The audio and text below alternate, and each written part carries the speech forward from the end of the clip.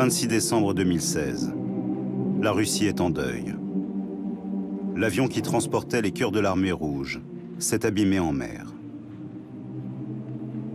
64 d'entre eux sont morts dans l'accident.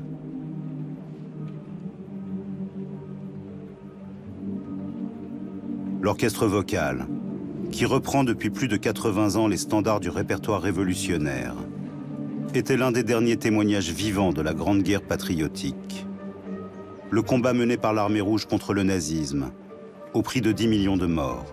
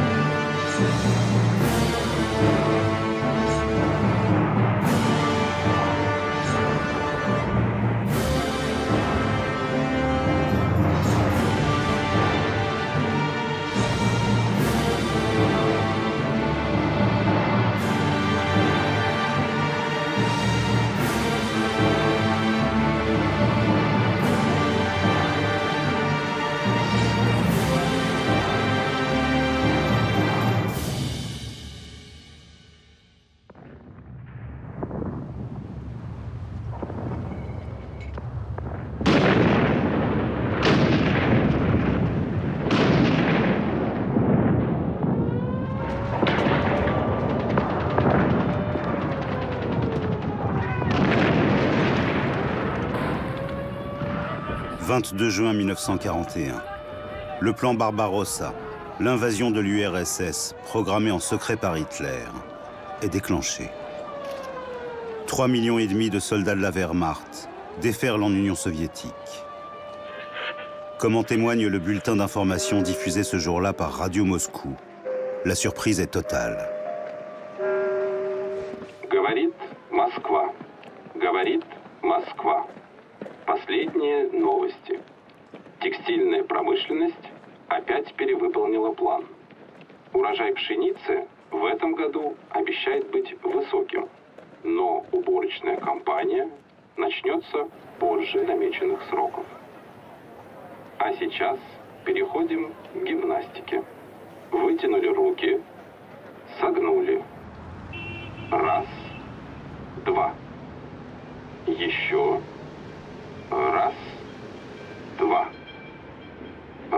L'état-major est pris de court. Le général Timoshenko, tétanisé, n'ose pas réveiller Staline. Il se défausse sur son second, le général Zhukov.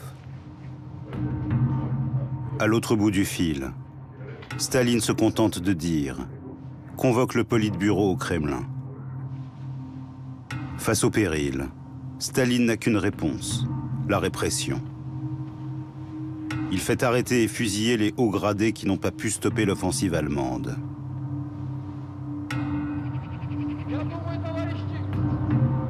Pour mieux cadrer les troupes, Staline adjoint à chaque unité des commissaires du NKVD, la police politique. Officiellement, il s'agit de relever le moral des soldats.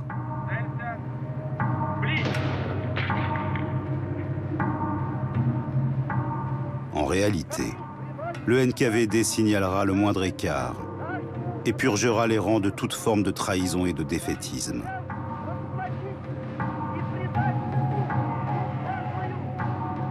Ces mesures exceptionnelles, l'URSS en a déjà fait l'expérience au cours de sa brève histoire. Pendant la guerre civile, qui éclate après la révolution bolchevique?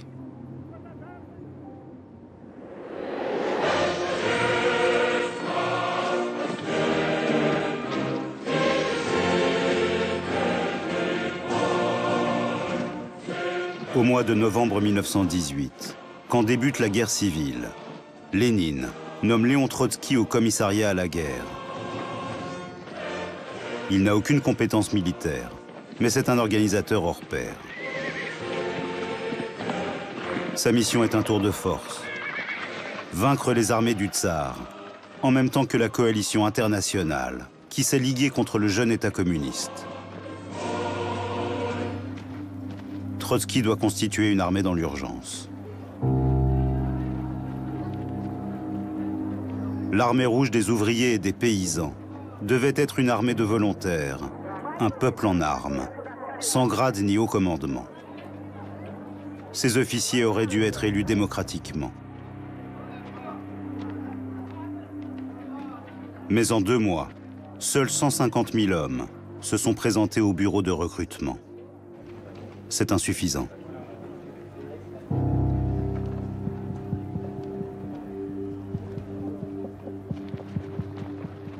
Trotsky comprend que les idéaux de la Révolution ne peuvent pas s'appliquer dans ces circonstances. La mobilisation générale et obligatoire est décrétée.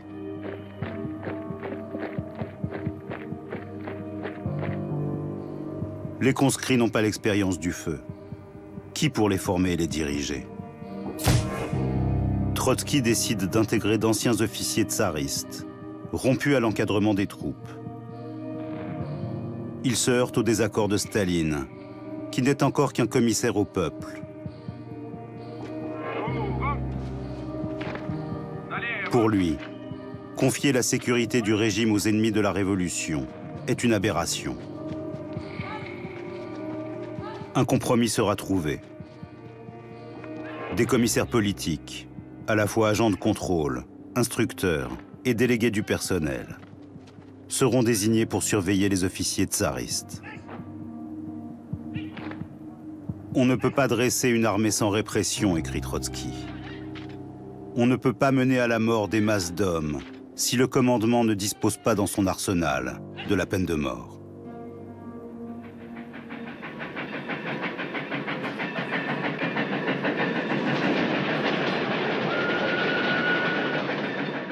Malgré cet encadrement strict, les soldats, affamés et sous-équipés, désertent par centaines de milliers. En 1920, deux ans après sa création, l'armée rouge revendique 3 millions de soldats. En réalité, elle n'en compte pas plus de 700 000.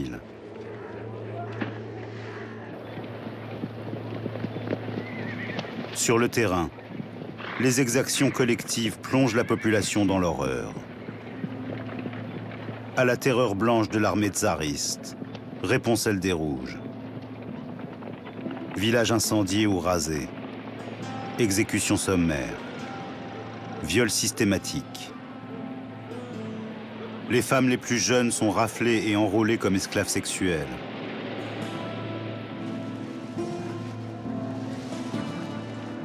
Des brigades de réquisition sont créées pour fournir des vivres aux soldats.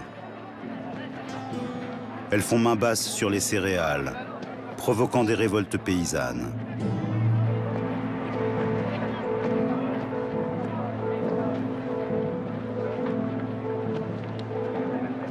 En octobre 1920, à 300 km au sud de Moscou, une insurrection éclate à Tambov.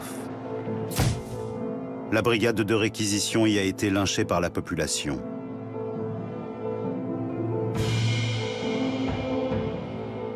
Pour mater la révolte, Lénine fait appel à un ancien officier tsariste, Mikhail Tukhachevsky.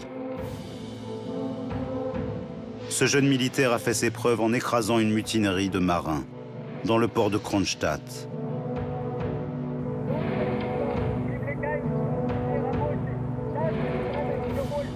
Tukhachevsky, qui a reçu les pleins pouvoirs de Lénine, mène une répression sanglante à Tambov. L'armée rouge ne fait pas seulement la guerre contre une armée adverse, mais contre la population locale. Tukhachevsky émet des ordres d'une impitoyable sévérité. Ordre du jour numéro 171.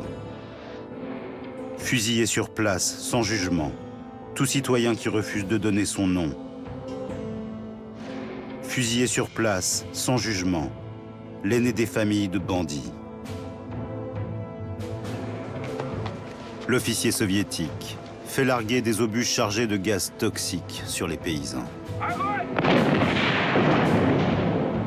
Les familles récalcitrantes sont expédiées en Sibérie. D'autres sont internés dans les camps de concentration gérés par l'armée rouge. En 1922, la resoviétisation de Tambov est achevée. La guerre civile aussi.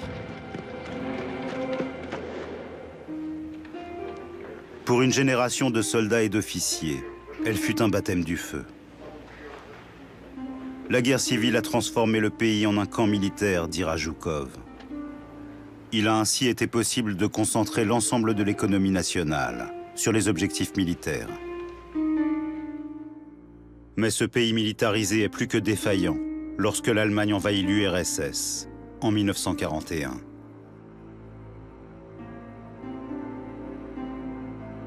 Au premier jour de l'invasion, les Allemands qui progressent sur trois fronts ont enfoncé toutes les lignes soviétiques.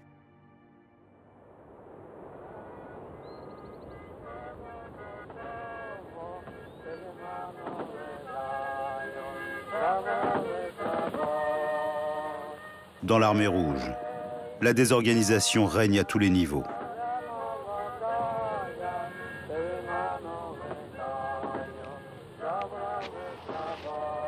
Les liaisons sont coupées.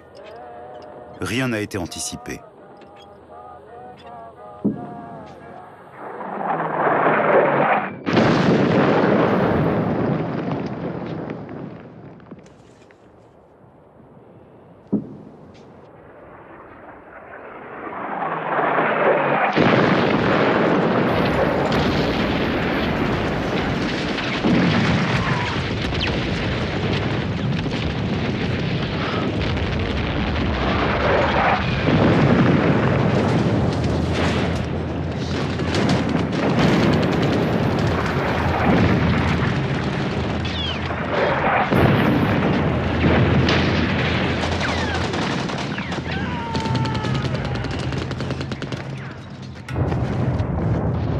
Vassiliev, un engagé volontaire de 17 ans, se retrouve perdu au milieu des combats. Ce matin-là, nous avons été réveillés par un vacarme assourdissant. Ça tirait de tous les côtés. Nous nous sommes dirigés en courant vers la forêt où se trouvait notre régiment. Seuls quatre d'entre nous ont pu y arriver sains et saufs.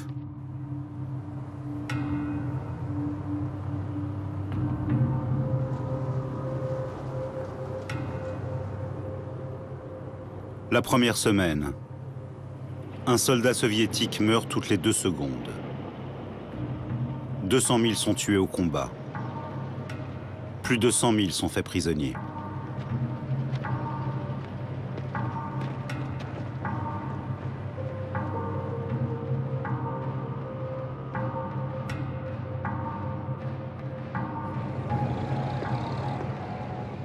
Le 26 juin 1941, Minsk, la capitale de Biélorussie, tombe aux mains des Allemands. Chaque jour, la Wehrmacht gagne du terrain.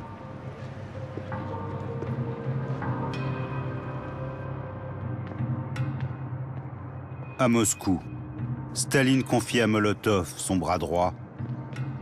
Lénine nous a laissé un grand héritage.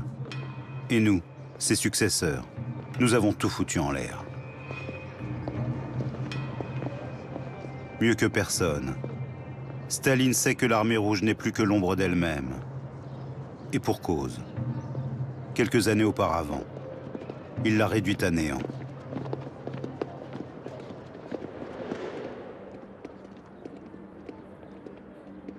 En 1936, l'ancien officier tsariste qui a pacifié Tambov, Tukhachevsky, surnommé le Petit Napoléon, est devenu commissaire adjoint à la défense.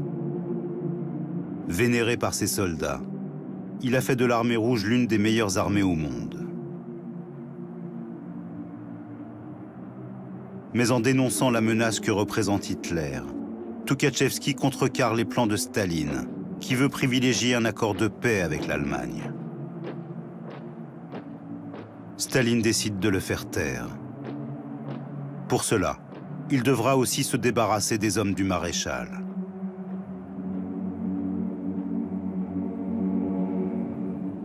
Le 11 juin 1937, avec huit autres commandants de premier plan. Tukhachevsky est arrêté et condamné à mort. Ils sont exécutés la nuit même. C'est le coup d'envoi de la purge contre les militaires. quatre des cinq maréchaux de l'armée rouge, 14 de ses 16 généraux, ainsi que 11 commissaires politiques, suivent Tukhachevski dans la tombe.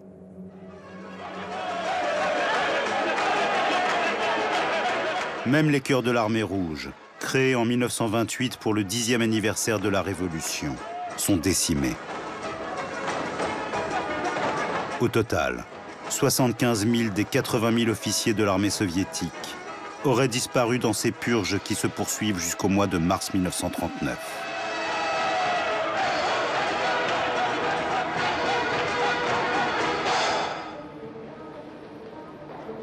Pour remplacer les hauts gradés engloutis dans les purges de la Grande Terreur, près d'un millier de jeunes officiers sont promus généraux en 1940.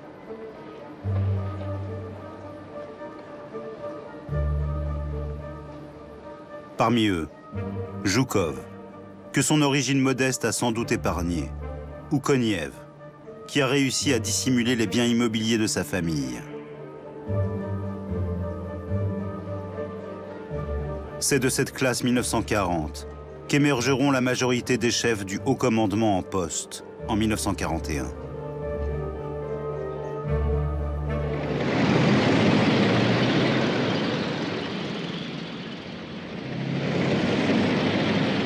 Alors que la Wehrmacht déferle sur le territoire soviétique, les officiers sont encore tétanisés par les effets de la purge.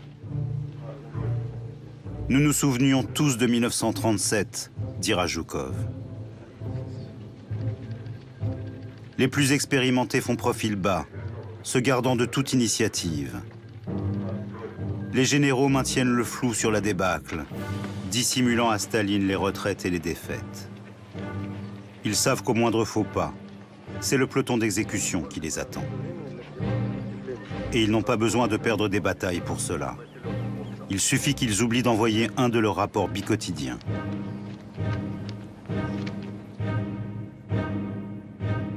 3 juillet 1941. Deux semaines après le début du conflit, Staline s'adresse aux soviétiques dans un discours radiodiffusé. C'est la première fois depuis le début de l'invasion allemande.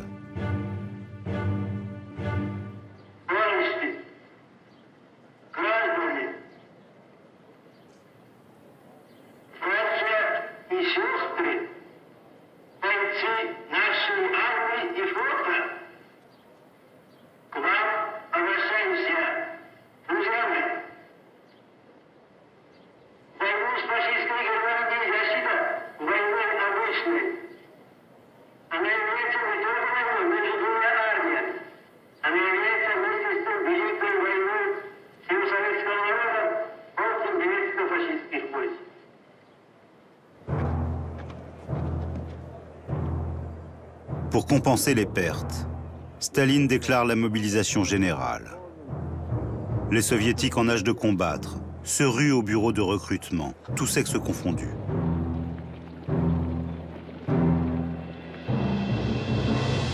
Elena Koudina était l'une d'entre eux.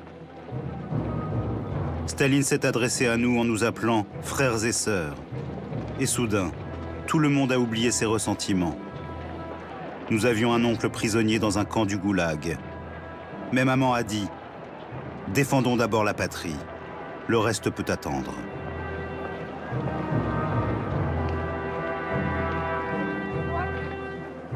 Dans un pays qui proclame l'égalité de ses citoyens, entre 500 000 et 1 million de femmes seront envoyées au front. Elles sont infirmières, cuisinières, opératrices, mécaniciennes, mais aussi tankistes et fusiliers marins. Quand elles intègrent l'armée, les jeunes femmes comme Maria Morozova pénètrent un univers fait par et pour les hommes. Dès qu'il nous a vus, le commandant s'est mis en colère. Voilà qu'on me colle des filles sur le dos.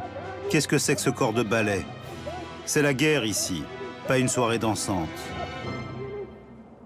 nous nous sommes sentis insultés. Pour qui nous prenaient-ils? Nous étions venus pour faire la guerre.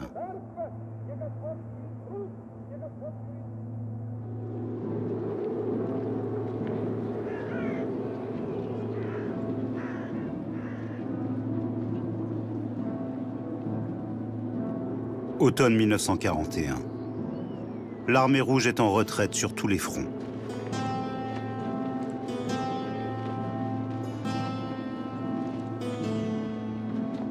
Staline est le premier responsable de ces défaites militaires. Il n'a cessé de lancer des contre-offensives en position de faiblesse, perturbant le travail de ses généraux, les remplaçant constamment dans son obsession de débusquer les traîtres.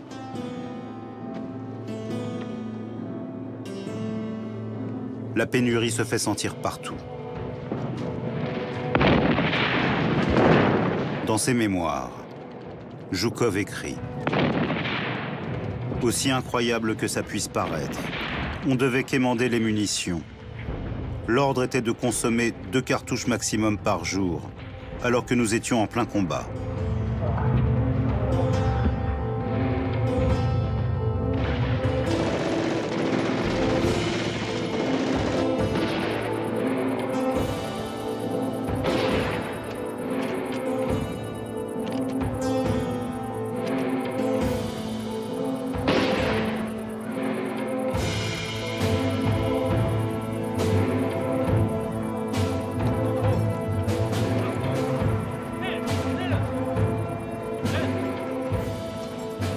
Pour les soldats soviétiques, la situation semble sans issue.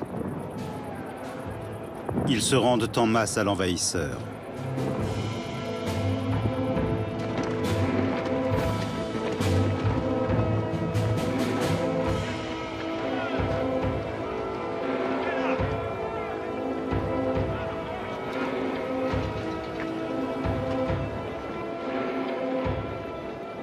Fin septembre 1941, plus de 2 millions ont été faits prisonniers.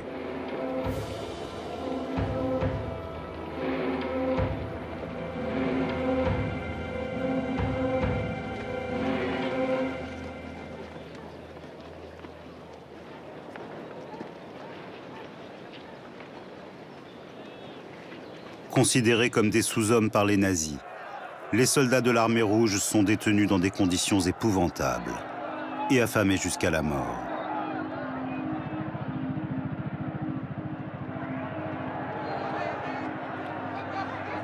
Le soldat Igor Trapitsine se souvient. Ce que j'ai vu au camp était horrible. Il y avait des bagarres à mort pour arracher à un type le pain qu'il triturait dans sa bouche. Les Allemands nous disaient que nous n'avions encore que trois mois à vivre, mais nous avons commencé à mourir beaucoup plus tôt.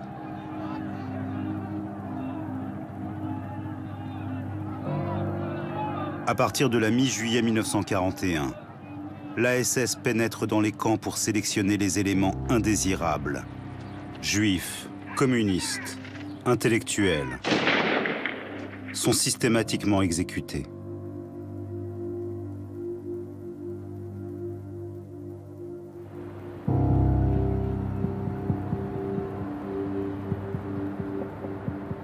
Mi-octobre 1941, les Allemands sont à 200 km de Moscou. Le métro ne circule plus. La ville retient son souffle. Les institutions, à l'instar du corps diplomatique, sont évacuées à la frontière du Kazakhstan.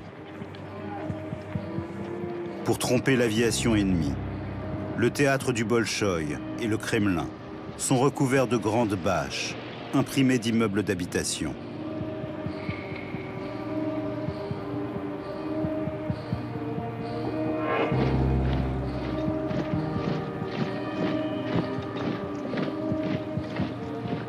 L'arrivée précoce de l'hiver offre un répit aux soviétiques.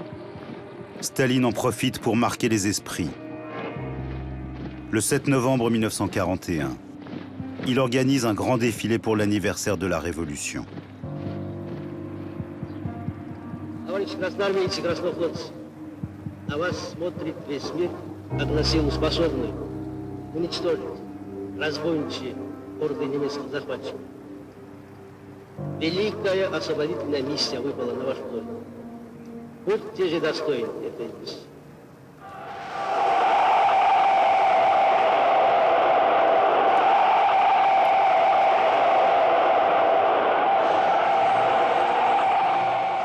Un sentiment oublié, le patriotisme, ravive l'espoir des soviétiques. Mon cœur était à la fête, se rappelle Grigory Pomerantz, un étudiant en philosophie. Il frappait à grands coups. Il sentait la pulsation des autres cœurs. J'ai complètement cessé de penser et la volonté collective l'a emporté.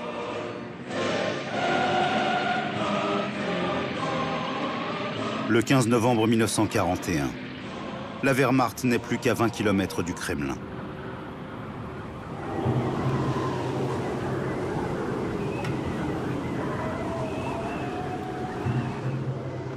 Mais le gel vient fixer les positions allemandes.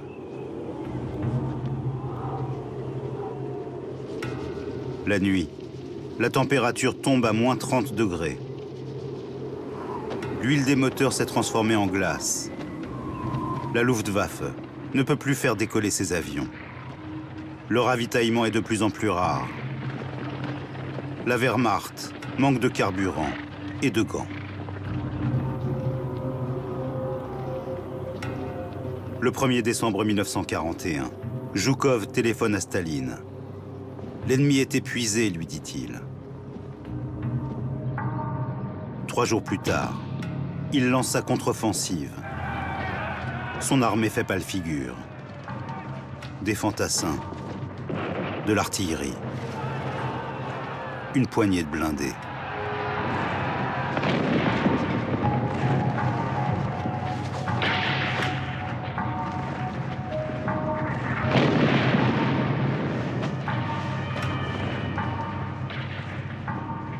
Pour compenser la faiblesse de ses troupes, Joukov s'en remet à la stratégie militaire.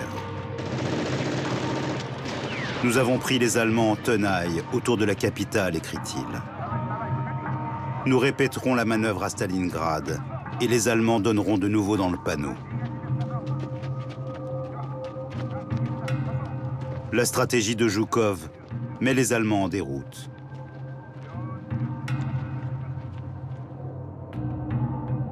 Pour la première fois, l'armée rouge découvre les exactions commises par les nazis. Les soldats soviétiques exécutés sommairement, les forêts de pendus qu'ils ont laissées derrière eux, entraînent une justice expéditive.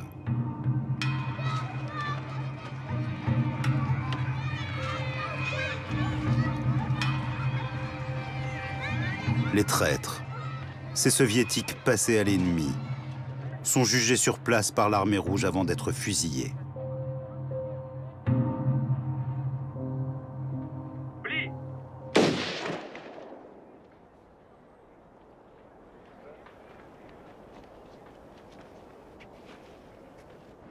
Фашистские полчища пытались захватить столицу. Не вышло! Под сокрушительными ударами доблестных воинов Красной Армии хвастливый гитлеровский план окружения и взятия Москвы провалился с треском.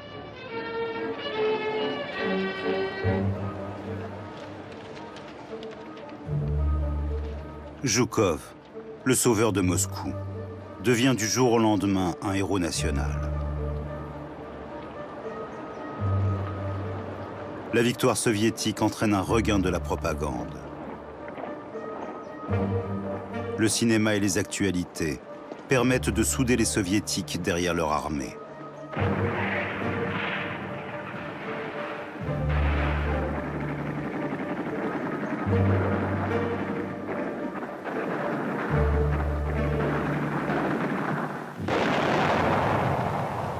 Les comédies amusent le public en se moquant de l'ennemi.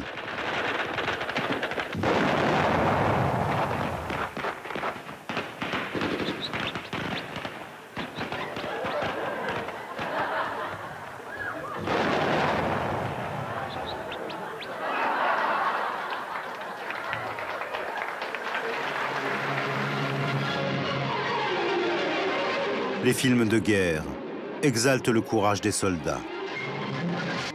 Les recrues y sont toujours exemplaires, leur combat héroïque. Quand les soldats viennent lui demander des explications, il répond Pour chaque mère, son fils doit être le meilleur des soldats. Quant aux lettres envoyées par leur famille, elles sont soumises à la censure du NKVD, qui caviarde avec soin les difficultés de la vie à l'arrière, les pénuries, les réfugiés qui dorment à même le sol, le décès d'un cousin ou d'un voisin.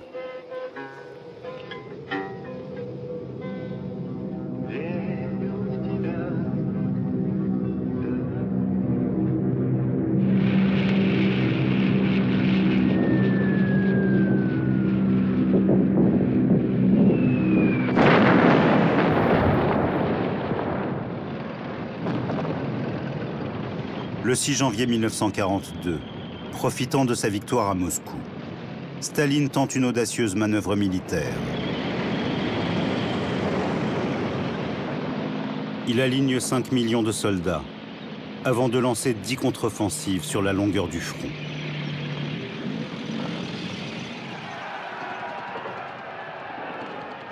Toutes se soldent par un échec.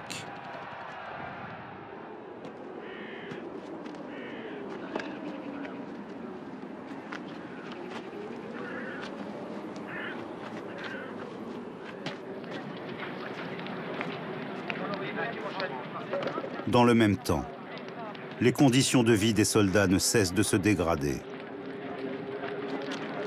Le ravitaillement privilégie les livraisons de vodka au détriment des vivres. Épuisés par les combats et le froid glacial de l'hiver, les soldats sont la proie des poux, des maladies et de la malnutrition. Certains en sont réduits à manger de la chair humaine, comme s'en souvient Danil Alchitz. Dans notre armée, la sous-alimentation était si dramatique qu'il y a eu des cas de cannibalisme. Même dans notre division. À l'hiver 1942, il faisait moins 41 degrés. Un soldat a trouvé un cadavre, l'a emporté dans une cave et l'a mangé. Il a été fusillé devant ses camarades.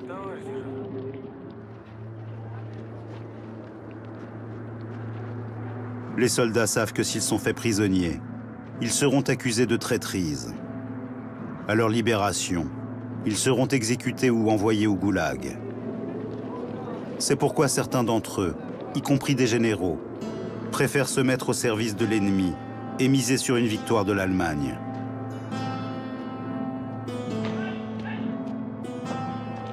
Le général Vlasov, un héros de la bataille de Moscou, est fait prisonnier en juillet 1942. Une prise de choix pour les Allemands, qui parviennent à retourner le général soviétique. Il lui confie le commandement de l'ORA, l'armée de libération russe, composée de prisonniers soviétiques.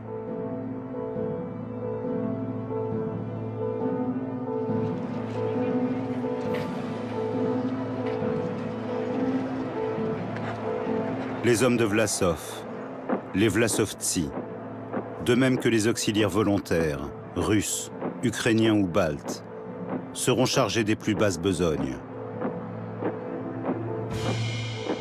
La plupart sont affectés à l'encadrement des ghettos et des camps d'extermination, ou versés aux effectifs des Einsatzgruppen, les unités mobiles de tuerie, en charge du génocide des Juifs.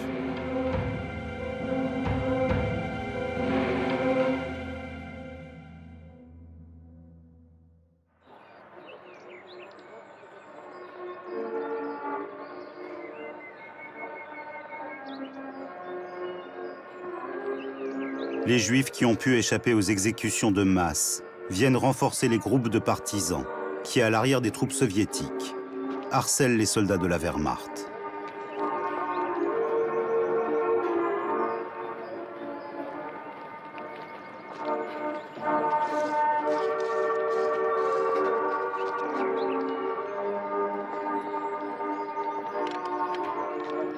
Cachés dans les forêts ou les marais d'Ukraine et de Biélorussie, ils mènent sans relâche une guérilla faite d'embuscades, de sabotage et d'opérations commando.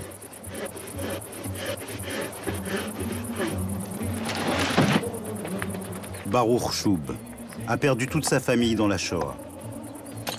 Il a participé à la résistance du ghetto de Vilnius, avant de rejoindre un bataillon de partisans juifs dans la forêt de Rudniki.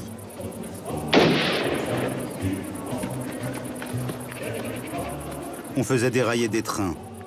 On sabotait les transmissions allemandes en coupant les câbles téléphoniques ou télégraphiques.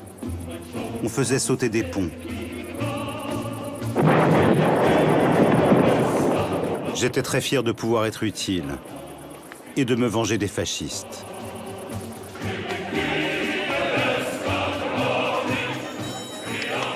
La résistance sape le moral des Allemands. Elle redore aussi le blason d'une armée régulière, en déroute sur tous les fronts. Alors que ces groupes se multiplient hors du giron de Moscou, il s'agit maintenant pour le Kremlin de les former et de les encadrer. Un commandement général devra coordonner leurs actions.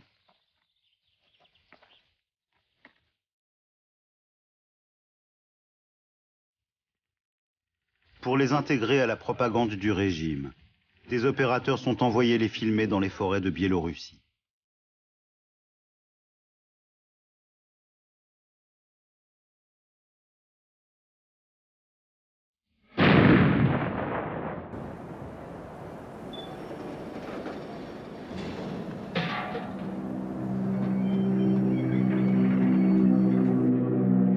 Été 1942 les Allemands sont aux portes de Stalingrad.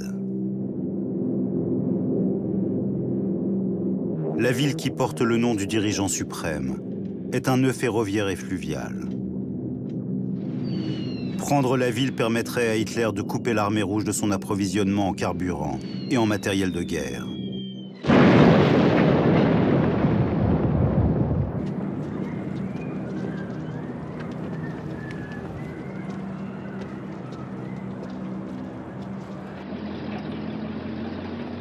La 6e armée du général Paulus entre sans difficulté dans Stalingrad.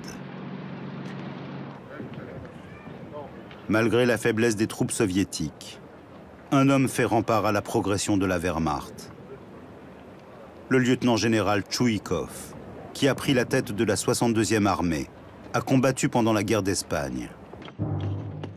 Il a l'expérience des combats en zone urbaine et organise la résistance.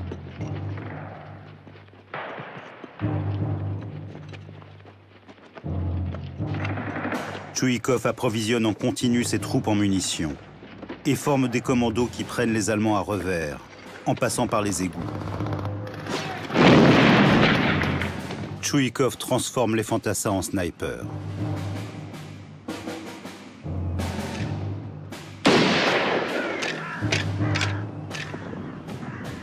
Fin septembre 1942, les Allemands marquent le pas.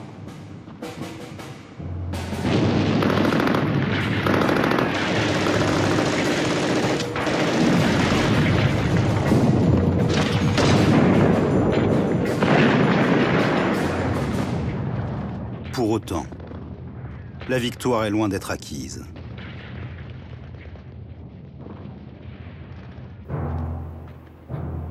Staline rappelle Zhukov que l'on commence à surnommer le pompier du front pour rétablir la situation. Sous son commandement, les forces soviétiques attaquent le point faible des lignes allemandes, les armées roumaines alliées au Troisième Reich. Le plan de Zhukov, nom de code Uranus, consiste à encercler et isoler la 6e armée dans Stalingrad.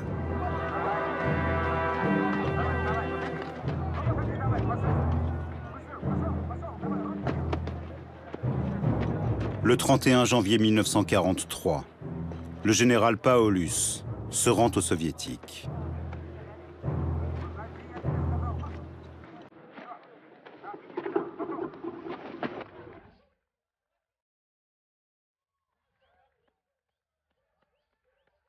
Malgré des pertes considérables, l'armée rouge a remporté la victoire.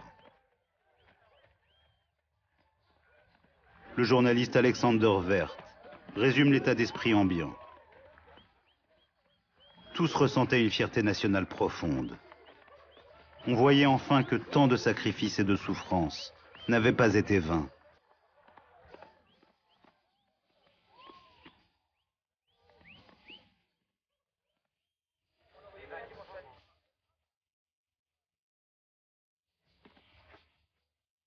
Alors que s'estompe le souvenir de la guerre civile, la grande guerre patriotique est le nouveau ciment de la société.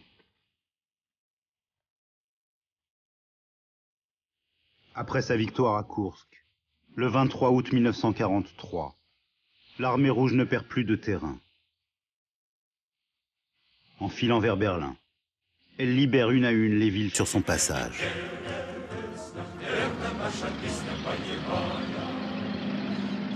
L'armée rouge a repris l'initiative stratégique. Les autorités militaires décident alors la création d'une unité de tireurs d'élite, exclusivement féminine.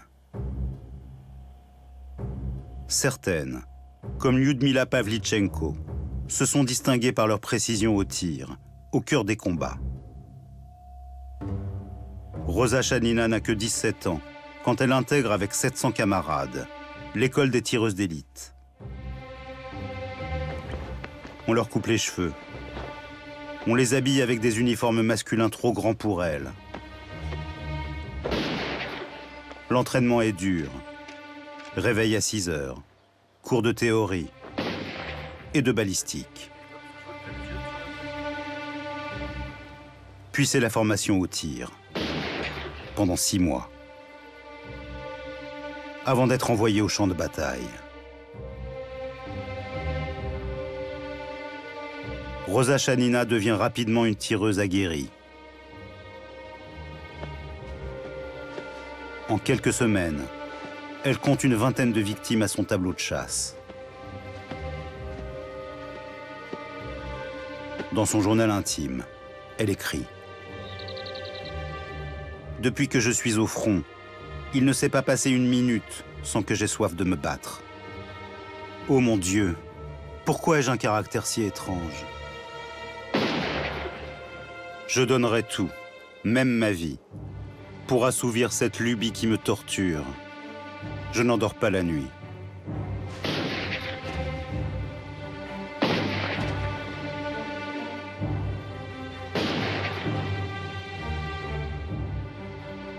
La propagande la porte au nu. Son visage s'affiche en couverture des journaux. Shanina est une célébrité. À l'automne 44, le journaliste Ilya Ehrenburg écrit à son sujet. Elle peut être fière, la mère russe qui a mis au monde une fille auréolée de tant de gloire et de noblesse.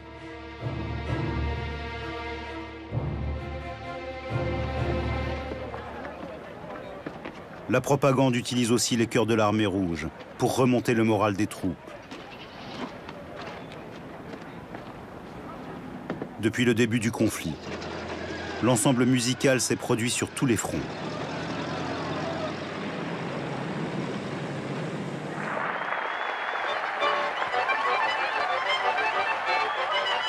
Les chœurs de l'armée rouge donneront près de 1500 spectacles. Sous les bombes, dans les tranchées, les hôpitaux militaires,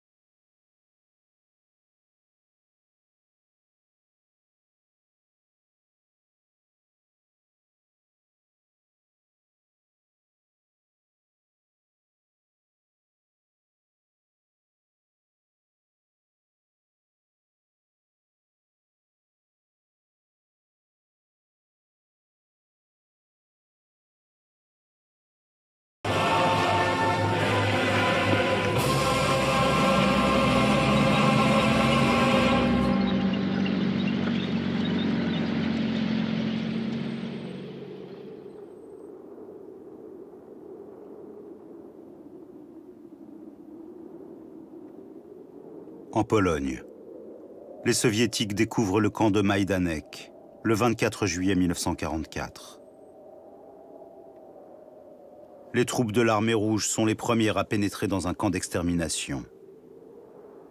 Plus de 200 000 personnes, dont près de 80 000 juifs, y ont été assassinés.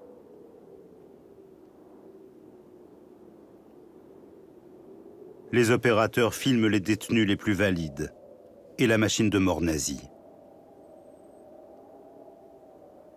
Les Allemands ont fui sans avoir eu le temps de détruire la chambre à gaz.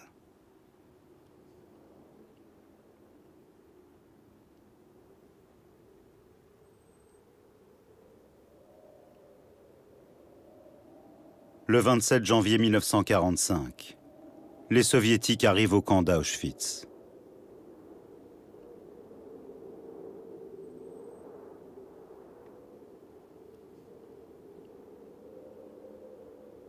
Nous savions que c'était un camp semblable à celui de Maïdanek, où notre division était passée, se souvient le sergent mitrailleur, Ivan Sorokopoud. En passant le portail, nous avons vu une douzaine de squelettes vivants qui se déplaçaient avec peine. Une odeur putride se dégageait d'eux.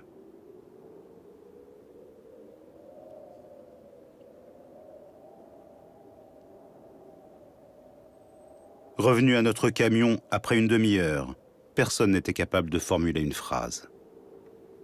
Seules des insultes nous échappaient à l'adresse des nazis. Quelles abominables ordures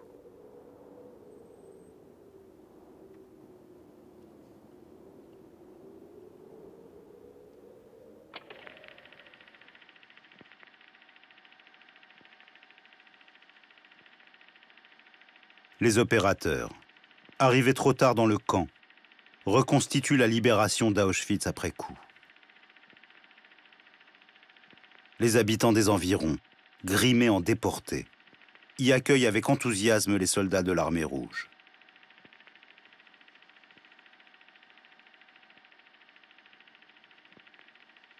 Mais le film est si loin de la réalité qu'il ne sera jamais diffusé.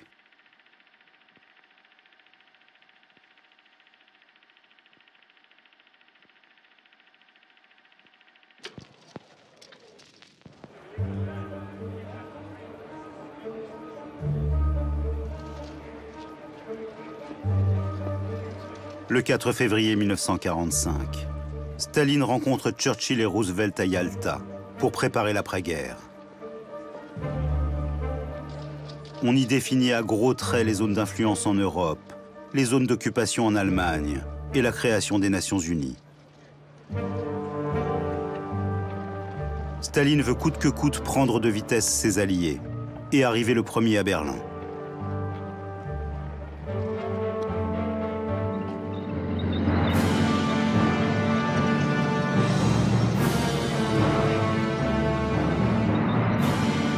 L'armée rouge est entrée en Allemagne.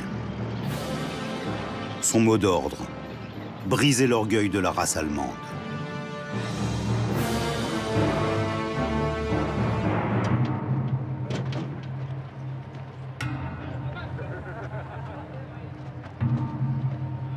Sur la route de Berlin, les pillages deviennent la règle. Léonid Rabitchev s'en explique. On rentrait et on prenait tout ce qu'on voulait. Et des radios, et des vêtements. En Russie, nous n'avions rien, rien du tout. Et des montres, des montres. On enlevait les montres à tout le monde.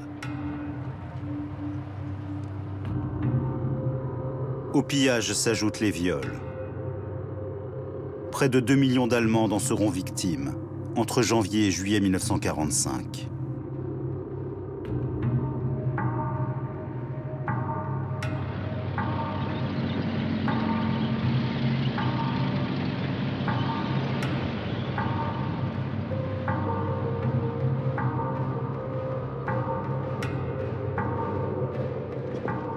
Léonid Rabitchev n'oubliera jamais le sort de ces femmes qu'on a enfermées dans l'église d'un village. Cinq de nos chars ont fait irruption et ont dispersé les sentinelles. Ils sont entrés dans l'église et les viols ont commencé. Le bruit s'est répandu dans la ville. Tous les soldats sont arrivés. Quelqu'un a eu l'idée de jeter du haut de l'église les femmes qui avaient perdu connaissance. Ça a duré trois ou quatre heures.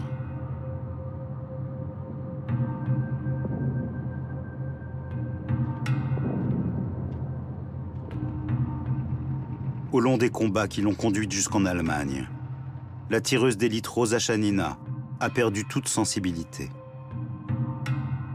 Au sujet des viols, elle écrit Qu'importe s'il se venge sur les Allemandes. Maintenant, de toute façon, je n'ai plus de cœur.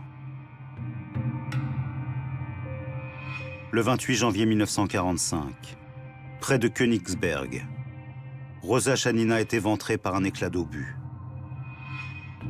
L'héroïne de l'armée rouge ne survit pas à ses blessures. Sa mère, qui a compris que sa fille avait franchi un point de non-retour, annonce ainsi la nouvelle à son fils cadet. Rosa est morte, et c'est peut-être mieux ainsi. Comment aurait-elle vécu après la guerre, elle qui avait tué tant de gens «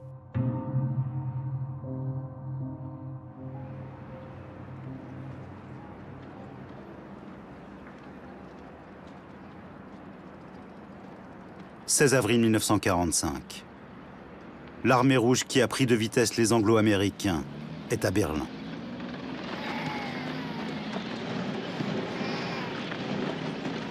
Pendant que Koniev tient la ville en tenaille par le sud, Zhukov investit ses faubourgs par le nord, le 24 avril.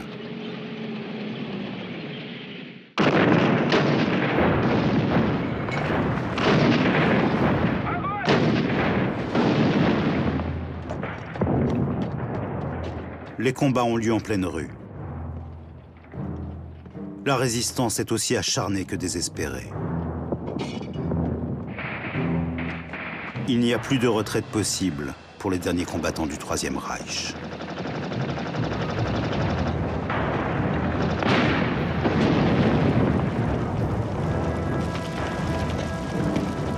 En moins d'une semaine, malgré quelques poches de résistance, la messe est dite.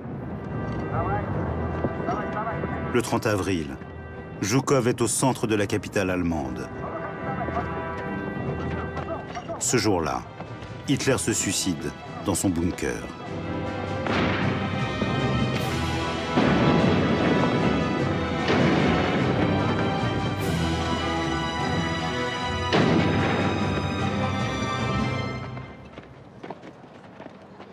Pavel Vinik, un fantassin originaire d'Odessa, se battait encore dans Berlin quand il apprend que la guerre est finie.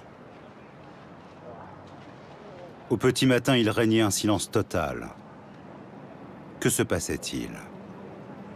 Soudain, nous avons reçu un message du quartier général sur notre radio portable. Il disait « Les troupes allemandes ont capitulé à Berlin. Cessez le feu. » C'était le 2 mai 1945 nous nous sommes tous mis à hurler de joie, à crier, à pleurer, à tirer en l'air.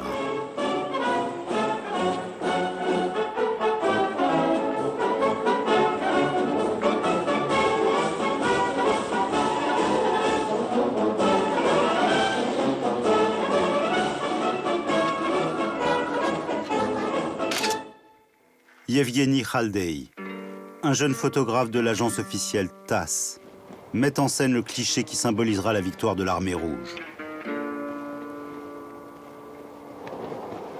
Deux soldats se sont portés volontaires pour faire flotter le drapeau rouge au sommet du Reichstag.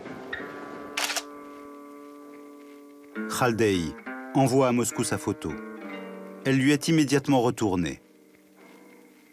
Deux montres sont parfaitement visibles au poignet du soldat, qui maintient son camarade par les pieds.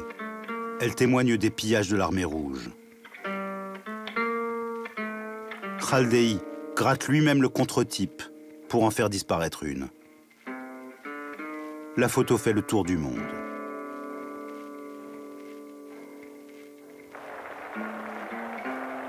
Le 24 juin 1945, les festivités de la victoire sont organisées à Moscou, sur la place rouge. Le maréchal Joukov est à l'honneur. Au milieu des troupes, on le voit lancer au galop le cheval blanc que lui a offert Staline. Joukov a le beau rôle, mais il n'a qu'un faire-valoir. Staline ne souffre aucune concurrence. Le héros incontesté de la victoire, c'est lui. Comme dans les triomphes tsaristes, les bataillons viennent jeter les bannières du vaincu au pied du commandant suprême.